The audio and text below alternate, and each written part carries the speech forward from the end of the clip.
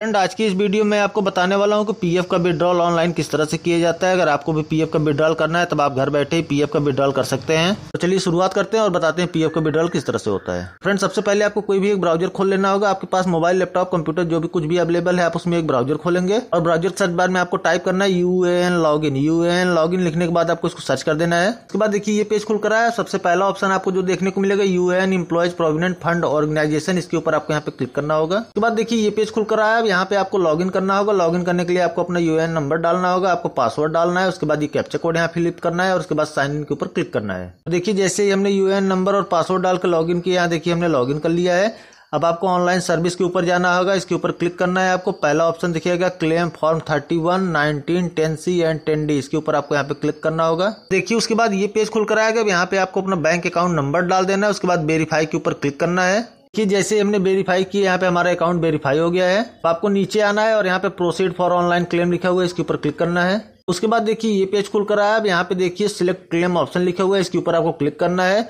तो यहाँ देखिए, हम पीएफ निकलवा रहे हैं तो PF advance form thirty nine thirty one लिख कर आया इसके ऊपर क्लिक करना है। उसके बाद यहाँ देखिए, नीचे एक और ऑप्शन खुल कर आया सिलेक्ट सर्विस इसके ऊपर आप क्लिक करेंगे तो यहाँ पे देखिए, आप जितनी भी कंपनी में काम किए होंगे, जिस जिस कंपनी से पीएफ आपके अकाउंट में जमा हुआ है, वो सबका नाम आ जाएगा यहाँ पे। आपको कोई एक कंपनी सिलेक्ट करना होगा, जिसका आपको पीएफ निकलवाना है तो मुझे देखिए, यहाँ ओरियन सिक्योरिटी का निकलवाना है तो इसके ऊपर मैं यहाँ पे क्लिक करूँगा।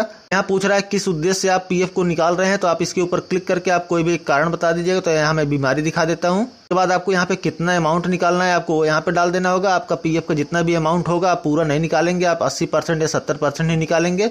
आप पूरा तभी निकालिए जब आप रिजाइन दे चुके हों।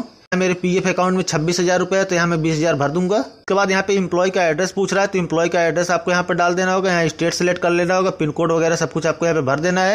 या फिर चेकबुक का जो है फ़ोटो कॉपी आपको स्कैन करके सौ से 500 केबी के बीच में जेपीजी फॉर्मेट में यहाँ पे अपलोड कर देना है। पासबुक अपलोड करने के बाद यहाँ देखिए चेकबॉक्स है, इसके ऊपर आपको क्लिक करना है। उसके बाद गेट आधार ओटीपी के ऊपर क्लिक करेंगे तो आपके आधार कार्ड में जो भी मोबाइल नंबर लिंक होगा, उस नंबर पर एक ओटीपी आएगा। ओटीपी को आपको यहाँ पे डाल के वैलिडेट ओटीपी के ऊपर क्लिक कर देना है।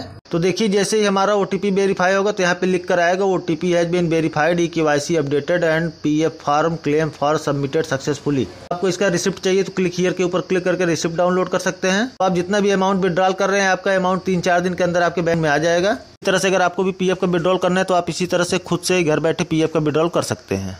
तो वीडियो में दी गई जानकारी आपको समझ में आए, चैनल सब्सक्राइब करिएगा, वीडियो को लाइक करिए कोई जानकारी आपको न समझ में आए तो मुझसे कमेंट करके पूछिएगा, मैं आपको बता दूँगा। धन्यवाद।